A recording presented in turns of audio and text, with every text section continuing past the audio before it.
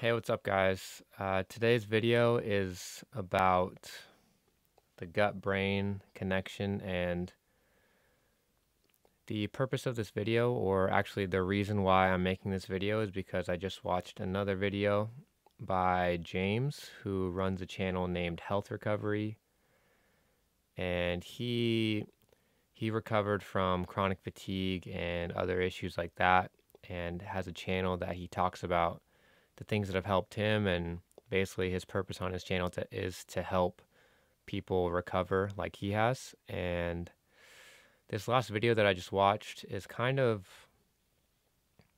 it's kind of basically what I've been realizing and it ties into psychology and how psychology cannot stand alone.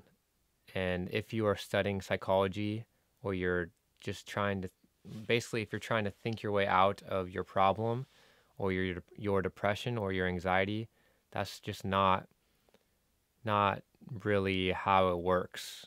And basically, if you watch, I'll link the video that I'm talking about in the description, but you can, yeah, you can check that out in the description. But basically, he was talking about how the body and your mind are so connected. And as he began to get healthier, his mind began to become so much healthier and he became less depressed and less anxious and I think this is an, a very overlooked aspect of psychology that he makes a great point about that people don't necessarily understand how much your body and what is going on chemically in your body and especially your gut and your microbiome which you, if you don't know what your microbiome if you don't know what your microbiome is it's basically the balance of bacteria and other microorganisms that are living inside of your body, but especially your intestinal tract. And so that's like why there are things that are, or that's why there are things such as probiotics and things like that. But people just don't, and it's not like a, I'm not blaming anybody. It's just there is a strong connection between how your body is functioning and how your mind is functioning. And I've noticed that for me personally, when my body has actually, let me, if you're new to my channel and you're watching this for the first time, I have traumatic brain injuries and concussions that are not healing. And the reason that they are not healing, or I mean, they are healing and I'm working on healing them. But the reason that I'm getting these post concussion syndrome symptoms is because of this inflammation response that is basically sourced in my gut. And so, as I've been healing my gut and working with my gut and changing my diet, I've had incredible shifts in just how I feel emotionally, and in terms of anxiety and depression, I can literally turn on and off anxiety and social anxiety and all that sort of stuff just by not eating certain foods. And so I think this is something that is neglected for sure by psychology because your gut and your psychology are are super connected and like for instance, if you go on a, a, long run and you get that runner's high, it's like what you're doing with your body is affecting your brain. And so there's this thing called the vagus nerve or the vagal nerve, and it connects basically your gut and your brain. And I'm sure that there's other things, but basically it's like there is this strong connection between your gut and your brain, and what's going on in your body is going to affect your brain. And so if you're if you're looking into if you're like feeling depressed and you're wondering why you're feeling depressed and you're like I know all these things and I know that I shouldn't feel depressed. I'm doing all these I'm doing all these habits and I have all these good things in place that I'm doing. I have these affirmations and all this stuff. And if it's only taking you so far, then you might want to look into the state of your body and the state of your gut. And it's just so huge because I can, I've made, I've been able to do so much more lately because of just changing my diet, because of what's going on in my gut. And it's increased my focus and uh, being just 100% honest, I'm not there yet. And so I'm not like, I'm not healed 100%, although I am healed somewhere in the future and I am healing.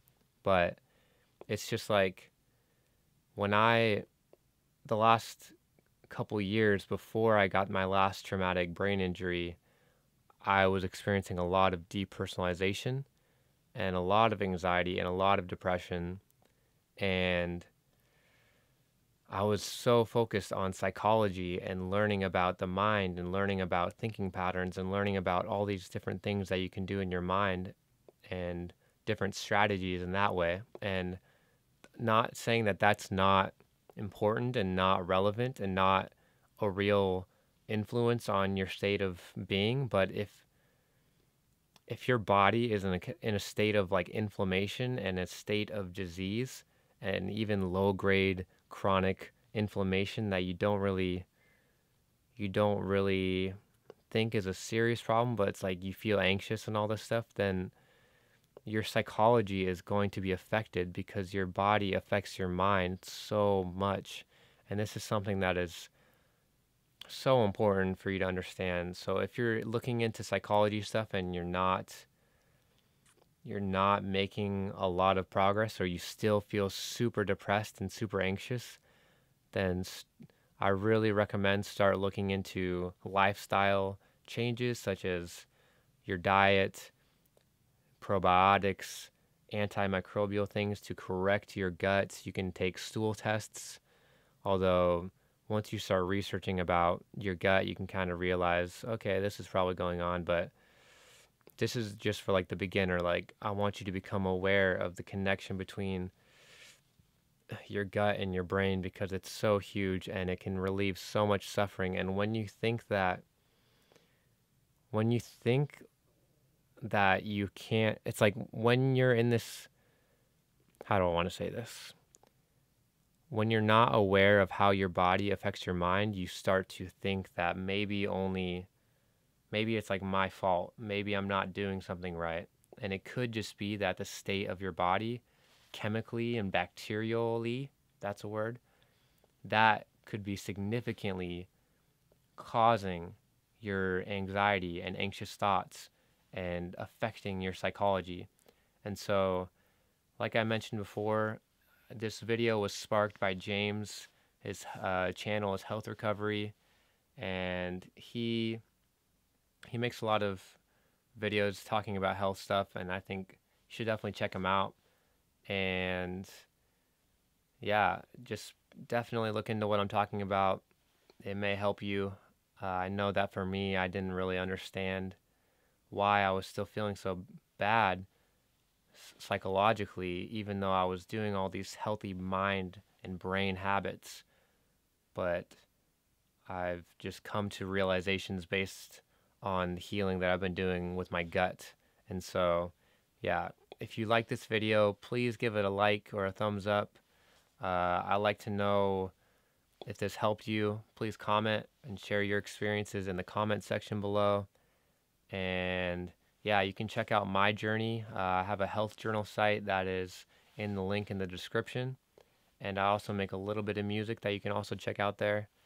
But yeah, I think I think this is huge, and so please, please consider it. And thank you for watching the video. I'll see you in the next one. Peace.